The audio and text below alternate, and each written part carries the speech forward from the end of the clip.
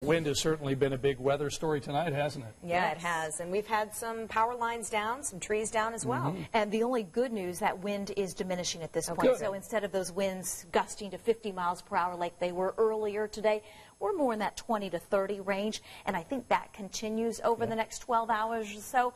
That will include your Friday. We'll be tracking a few showers too before the temperatures take a tumble. We are up significantly from earlier today. With rain, we spent most of the day in the 40s. As the rain came to an end, at least that steadier rain, we warmed 54 degrees. Southerly flow of air responsible for that. We're on the warm side of a still developing storm system. We have a south wind at 15 miles per hour. We're still tracking a few wind gusts in the range of 20 to 30.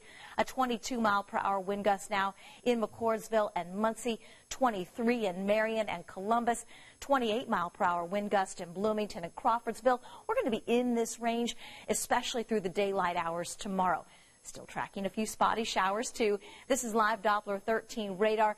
Spotty showers from near Muncie to Hamilton County around Carmel and Westfield and then back to near Terre Haute south to Bloomington.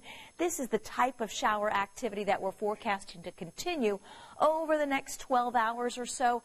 We think the majority of the heavy rain has come to an end, but these spotty showers will linger overnight and through the early part of tomorrow. We put this in motion over the last couple of hours.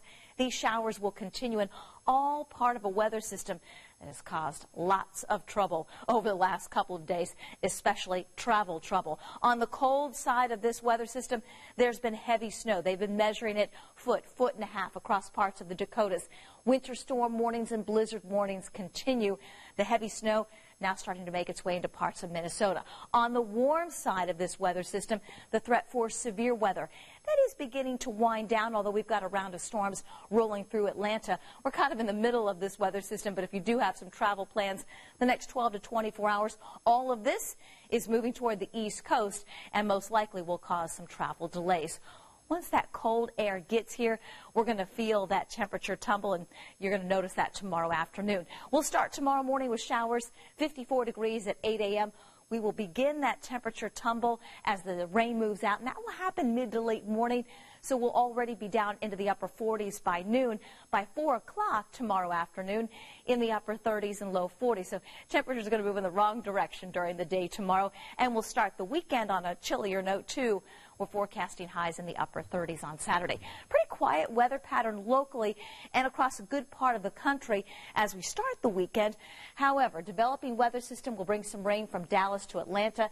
That could cause some travel delays. We will watch this weather system move toward Nashville on Sunday evening for our Colts. We'll keep you updated on that forecast as well. Morning showers, breezy, and then turning colder. We'll fall from 54 into the 30s by tomorrow afternoon, eventually into the upper 20s as we start the weekend. Saturday's high 37, Sunday 43. Weather system arrives here Sunday night into Monday. Mainly a rain event before we ring in the new year with a temperature drop upper 20s, low 30s as we start 2019.